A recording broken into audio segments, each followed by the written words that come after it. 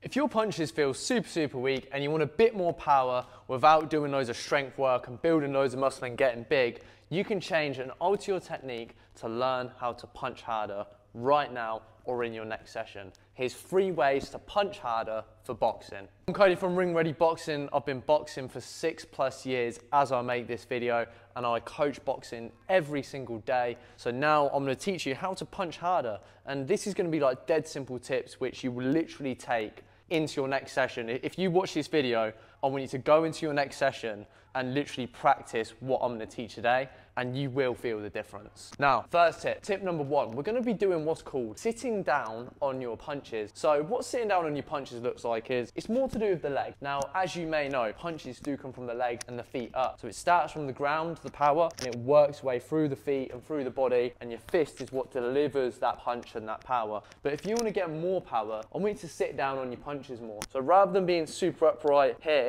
or even on your toes too much, you can't get too much power from that. I want you to just sit down a little bit, watch me bend the leg. It's only a slight movement there. Sit down on your punches and actively think about pushing your feet into the ground. Don't go away from the ground, push your feet into the ground. So if I'm on my toes here, there, there's only so much power I can get. There, there's only so much power I can get. I know that's a jab as well, but if I sit down and I want to throw them power shots, bend the leg slightly, tighten up my core,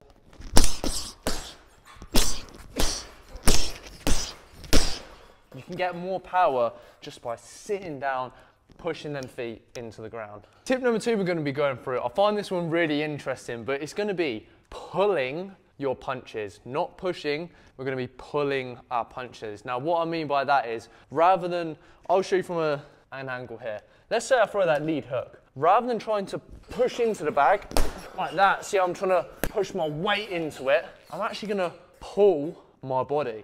So what this is going to look like, if I hold my backhand here, rather than thinking, oh, put all my weight on the hook, and losing my balance and losing the power, I'm going to hold my right hand here, and I'm going to pull my shoulder back, and essentially use my back shoulder as the power. That pull back there is what's going to generate the power for me. And the hand, the hook, is literally just what delivers the punch, all right?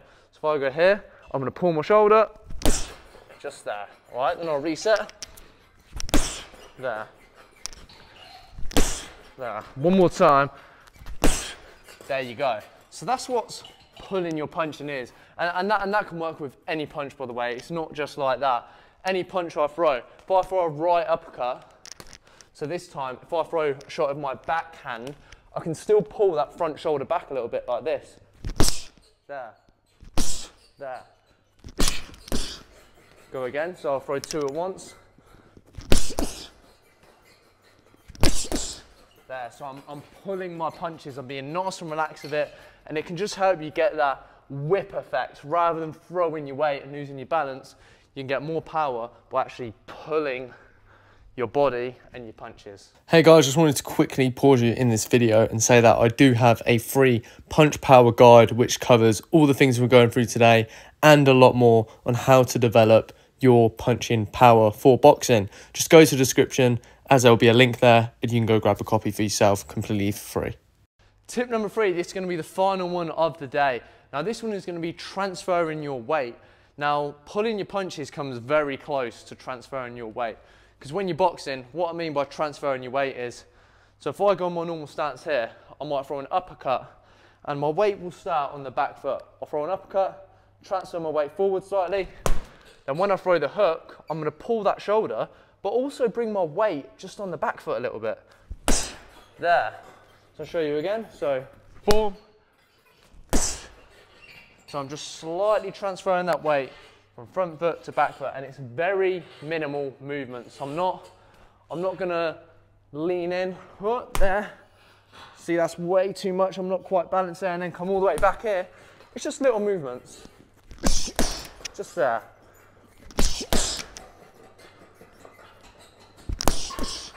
Works with any punch combinations. Right, so that's a nice easy way to get more power in your punches with less effort. Because at the end of the day, getting power in your punches is not just throwing everything into it and going all wild. So there's three tips on how to get more power in your punches. I hope this helped. Now please go and apply this information in your next session as you'll feel the difference straight away. Now these techniques will take a little bit of practice, soon it will become natural. So just do some work on it, practice it over and over again, and soon it will feel normal. Right now it might feel a little bit alien if you've not done much stuff like this before, but get on the bag, practice working on the power, but the key is stay relaxed and don't look to throw really hard, heavy shots. Let your body do all the work because the secret to getting power in your punches is basically putting in less effort to get more output. So the more I try and go really hard, Ah! Ah! ah. I can get power, but you can see them punches coming and they're a bit wild. I want to be able to get power without you even seeing that I'm getting power. I want my punches to be sharp. I want them to be like a whip. I want them to be quick. That's what we're aiming for. So anyone can stand there and load up on a bag, but you want your power to be nice and subtle so you can disguise them shots and land nice, beautiful body shots and head shots with good intent in them. Now, I'm Cody from Ring Ready Boxing. If you enjoyed this video, please drop it a like, subscribe to my channel for more boxing content, and just comment down below if there's anything you want to see in particular next because I do look at the comments. If you've got any questions, I will reply to you.